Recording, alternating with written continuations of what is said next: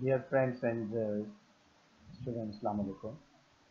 Here I am Mohammad Rafiq Safi, government degree college Latifabad Hyderabad आज uh, हम bio energetic की तरफ़ चलेंगे और बायो एनर्जेटिक एक स्टडी का नाम है this is a branch of biology we can say this is a branch of uh, chemistry also capturing and conversion of energy from one form to another form capturing and conversion of energy from one form to another form inside the living system inside the living organism that may be the plant animal fungus algae protozoan etc उसकी अगर study करें तो उसको हम क्या नाम देंगे कि बायो एनर्जेटिक है bio means life energy means study करना उस चीज़ उस प्रोसेस के बारे में जिसमें से एनर्जी रिलीज़ हो या जिसके अंदर एनर्जी यूज़ हो। तो बायो एनर्जेटिक में दो इंपॉर्टेंट प्रोसेस होते हैं। One are the endothermic reaction या एंडरगोनिक रिएक्शन ऐसे रिएक्शन जो एनर्जी को यूज़ करते हुए हो।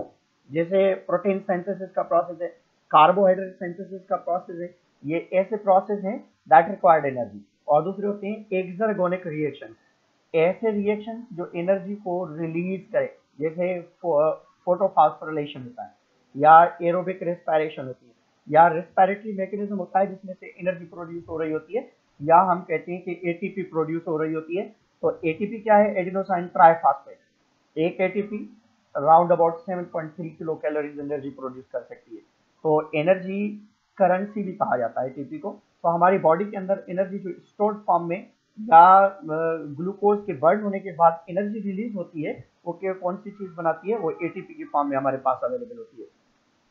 So these are the two type of cell one is the plant cell one is plant cell and other one is animal cell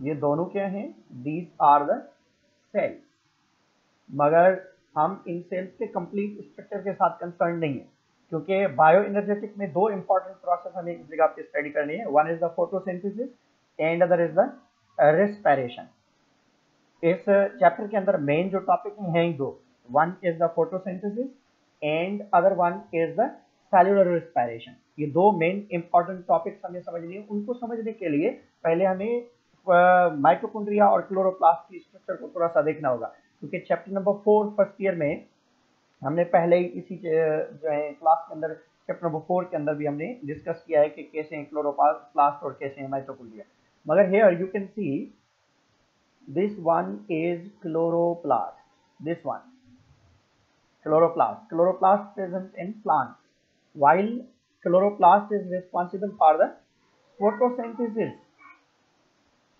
Photosynthesis process.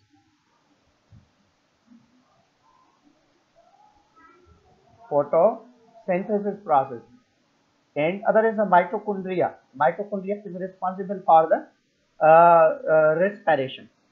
Cellular aerobic respiration के लिए mitochondria दोनों में पाया जाता है चाहे एनिमल सेल हो चाहे आप देखेंगे प्लांट सेल हो प्लांट और एनिमल दोनों सेल के अंदर रेस्पायरेशन के लिए माइटोकॉन्ड्रिया का होना ज़रूरी है क्योंकि दोनों जो है एरोबिक रेस्पायरेशन कर रहे हैं तो इन दोनों चीज़ों को आइडेंटिफाई करने के लिए मैंने एक छोटी सी स्ट्रक्चर की आइडेंटिफिकेशन किया या जस्ट हम उसको देखेंगे। हम डिटेल में तो नहीं पढ़ेंगे, हम सिर्फ़ थोड़ा सा देखेंगे कि क्लोरोप्लास्ट की स्ट्रक्चर कैसी और माइटोकॉन्ड्रिया की स्ट्रक्चर कैसी let's move toward the chloroplast this is the structure of chloroplast plant के अंदर क्लोरोप्लास्ट पाए जाते हैं और ये प्लांट के ग्रीन पार्ट्स के अंदर पाए जाते हैं। और इनके अंदर जो है फोटोसिंथेटिक पिगमेंट्स भी होते हैं और इनके अंदर फोटोसिंथेसिस करने के लिए क्लोरोप्लास्ट के अंदर पिगमेंट्स होते हैं नंबर ऑफ़ पिगमेंट्स पाए जाते हैं। तो क्लोरोप्लास्ट जो है, वो डबल मेम्ब्रेनियस है। एक मेम्ब्रेन ये है इसकी, एक ये तो ये दो मेम्ब्रेन हैं इसके बाहर तो इस वजह से इसको डबल मेम्ब्रेनियस भी कहा mitochondria chloroplast both are double membranous और इसके अंदर ये सेंट्रली एक स्ट्रक्चर पाई जाती है। This part is known as this is known as thylakoid membrane एक एक को हम थैलाक्वाइड जो है, मेम्ब्रेन कहते हैं। और ये पूरी स्ट्रक्चर मीन्स ये एक स्ट्रक्चर जो है, ये वाली, इसको हम नाम देते हैं कि ये थैलाक्वाइड है। This is known as thylakoid this is known as thylakoid ये थैलाक्वाइड है। और जबकि इस पूरी स्ट्रक्चर को मिलाकर हम नाम देते हैं कि this is a grana full structure is known as a grana single is known as a thylakoid. When many thylakoids condense together, they form the uh, granum, singularus granum. और बहुत सारे ये पाए जाते हैं इनको मिलाकर हम नाम देते हैं कि ये ग्रेन है तो इस थैलाक्वाइड जो बाहर वाली मेम्ब्रेन है इसके ऊपर क्या पाया जाता है पिगमेंट्स पाए जाते हैं फोटोसिंथेसिस के लिए इस जगह पे लाइट रिएक्शन का प्रोसेस होता है इस पॉइंट पे और उसके बाद ये फ्री स्पेस जो दिखाई गई है this is known as stroma this is stroma stroma possesses its own DNA stroma possesses their own ribosome their own enzyme for the photosynthetic because these are semi autonomous structure also you can say next one this is a structure already I have discuss these are intermembraneous space, space between two membranes, outer and inner. This is outer membrane and this one is a inner membrane. And this is a stroma, this space, free space, or we can say the uh, fluid-like structure is known as stroma. It possesses DNA, it possesses uh, own fluids, it possesses their own ribosomes, enzyme, and etc. So, stroma is responsible for the dark reaction. Dark reaction always occur in the stroma, and this is known. This whole structure is known as a granum, and single single structure is known as a thylakoid is you can see here. Thylakoid this one is thylakoid while this whole structure is known as a grana and these are the laminar attachments. And uh, let's move. This is a, a same but uh, we can say further detailed structure. Sunlight it can use carbon dioxide from the atmosphere sunlight and carbon dioxide from the environment while water especially from the roots. Roots. And it release oxygen in air. And sugar. Sugar molecules plant can store inside the body. It can utilize for their own metabolic uh, processes. Sugar also used into the respiration for the mitochondria also another one this is a model you can also develop this one तो कहीं पे भी अगर आपको model बनाने की ज़रूरत पड़े तो आप इस तरीके से कोई गोल सी चीज़ लें और थोड़ा सा उसको कट करें और उसके अंदर ये ऐसी चीज़ें रख सकते हैं आप so it's very important for those students who are interested to develop the models uh, in the science exhibitions and different other. And photosynthesis equation, uh, this will be discussed in photosynthesis process in detail.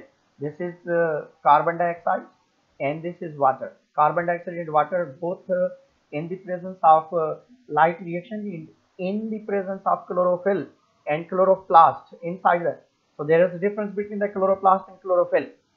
Chloroplast is an organelle, chlorophyll is a molecule. So glucose and oxygen release out. This is same but in uh, equation form you can see here and this is also in equation form uh, this is uh, carbon dioxide, water, light, uh, sugar and oxygen also here. Next one is the mitochondria. Mitochondria is also double membranous.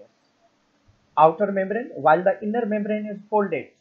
These inner foldings are known as cresti. These foldings are known as cresti. You can see here. While central portion is known as a matrix.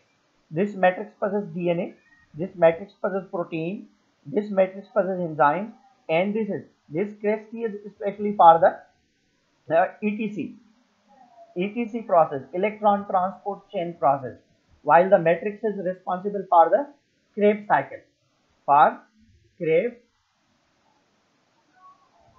cycle. So mitochondria almost present in all type of eukaryotic organisms, and this is particularly for the respiration. This is a uh, cellular inner respiration you can say. This is another structure tabular structure you can see here. This is a and uh, we will discuss this one in detail and uh, especially in the